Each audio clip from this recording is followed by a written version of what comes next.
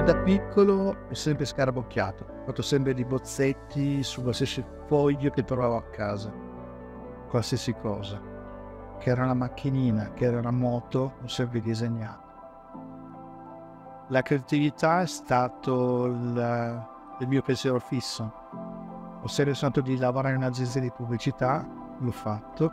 Ho sempre voluto disegnare oggetti e vederli in giro per il mondo. E fatto anche questo. Allora, il, tutto è partito grazie al, ai primi modellini della Malaguti, nota azienda di scooter italiana dove, dove lavoravo e seguivo la comunicazione. Da lì ho presentato i miei bozzetti per le grafiche ed è stato l'inizio. E in tutti questi progetti riprendo sempre qualcosa che richiama la natura, sempre. Ritengo che la, la natura sia il, il miglior designer del mondo. In natura vediamo forme, colori incredibili. Difatti la mia ispirazione viene da quelle forme lì crediamo molto nella creatività in tutti i suoi campi. Siamo molto curiosi su questo lato qua.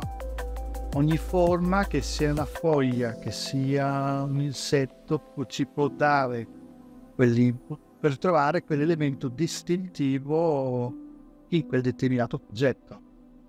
In più ci dà modo di conoscere in questo settore tantissime persone, da ingegneri, designer, meccanici, elettronici. È un settore che veramente è di altissimo livello. Un progetto deve essere, come dico sempre, funzionale e poi bello stilisticamente. Se il progetto non è funzionale ed è bellissimo, per me non funziona. Quindi prestiamo una grande cura nel ricercare quella funzionalità all'interno del prodotto. Quello per me è fondamentale.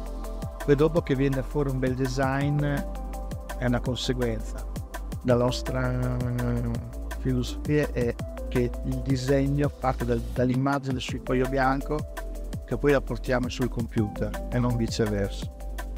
Beh, noi siamo convinti che il, sia disegnare una barca, disegnare una semplice bicicletta, prima di tutto deve partire da, una, da una ricerca. Trovare in questo prodotto il suo vero DNA. Cioè deve essere il giusto equilibrio tra tecnologia e design. Sicuramente il design eh, deve restare più a lungo perché la tecnologia cambia molto rapidamente. Il design per noi è un elemento che deve restare per più tempo e se possibile determinare proprio il prodotto. Ci teniamo molto a portare lo stile del design italiano in quello che facciamo è un elemento che è riconosciuto in tutto il mondo e siamo fieri di portarlo avanti.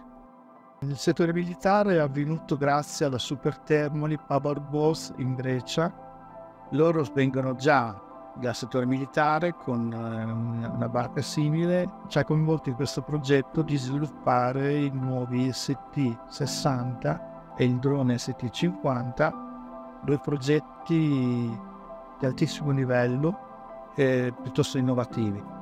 Bellissima esperienza, i magazine internazionali ci hanno dato un grandissimo contributo perché ci hanno dato una grandissima visibilità perché hanno visto il potenziale enorme di queste due barche.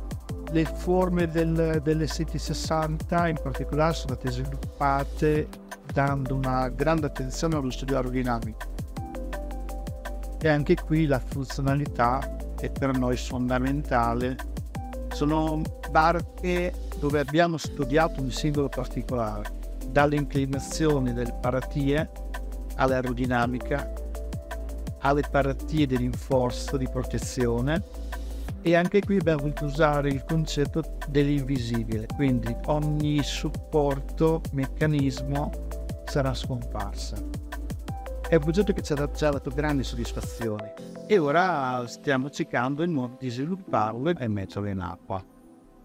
Questo qui è il concept del, del nuovo simulatore. Abbiamo avuto modo di conoscere persone che vengono dal mondo della Formula 1 raccogliendo maggiori informazioni sul, sul discorso tecnologico, vedi chi, chi, vola usa dei simulatori, gli astronauti usano un simulatore, i videogiochi fanno delle simulazioni. Un simulatore di Formula 1 non è semplicemente uno schermo con il volante, perché ora i simulatori si muovono, sono dinamici, vogliamo renderlo ancora più dinamico, con appendici mobili, con dei collegamenti tra pilota e computer per un maggiore dialogo, per renderlo più realistico. Dalla stessa adrenalina. È molto importante questa cosa qua. Siamo una realtà giovane, siamo tutte persone giovani, tutti provengono da diverse realtà. Chi viene dal, dal, settore nautico, chi viene dal settore dell'elettronica, chi viene dal settore aerodinamico, chi viene dal settore delle corse. È un team molto affiatato e crescerà sempre di più, assimilare nuove competenze.